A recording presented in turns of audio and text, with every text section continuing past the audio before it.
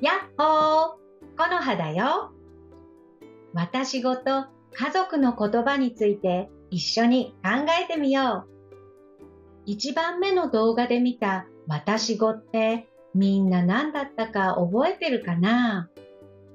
私語は自分の中にあるいろいろな言葉の集まりのことだったね。みんなそれぞれ一緒に住んでる家族でも違うんだよ。みんなはうちにいるとき、誰とどんなときに自分の私語の中のどの言葉で話してる？タクトくんの家に行って家族みんなにインタビューしてきたんだ。タクトくんの私語にはドイツ語、日本語、英語があって他にも南ドイツの方言もわかるんだって。日本から来たお母さんは子供の頃アメリカに住んでたから日本語の他にも英語がよくわかるしドイツで暮らすようになってからはドイツ語も勉強してるらしいよ。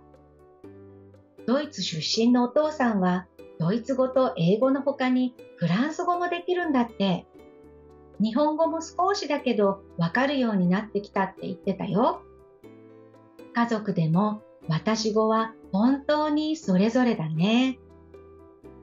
誰とどの言葉で話すかも聞いてきたよ。タクト君はお母さんと話すときは日本語が多いけど、最近学校の話をするときなんかは英語が増えてきたんだって。お父さんとはいつもドイツ語。お母さんとお父さんはほとんど英語だけど、最近はお母さんはドイツ語の、お父さんは日本語の勉強のためにその時々で言葉を変えて話してるらしいよ。家族みんな一緒の時はドイツ語が多いけど、話すトピックによって英語になったり日本語になったり変わることもあるんだって。変わらないのはタクトくんがうさぎのミミちゃんにご飯だよとかこっちおいでとか言うとき、それはいつも高い声の日本語。こんな風に家族一人一人の私語の中にあるいろんな言葉が組み合わさって家族の言葉ができてくるんだ。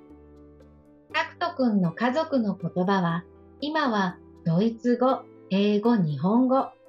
これから変わっていくかもしれないけど今はこの3つの言葉を使い分けてるんだね。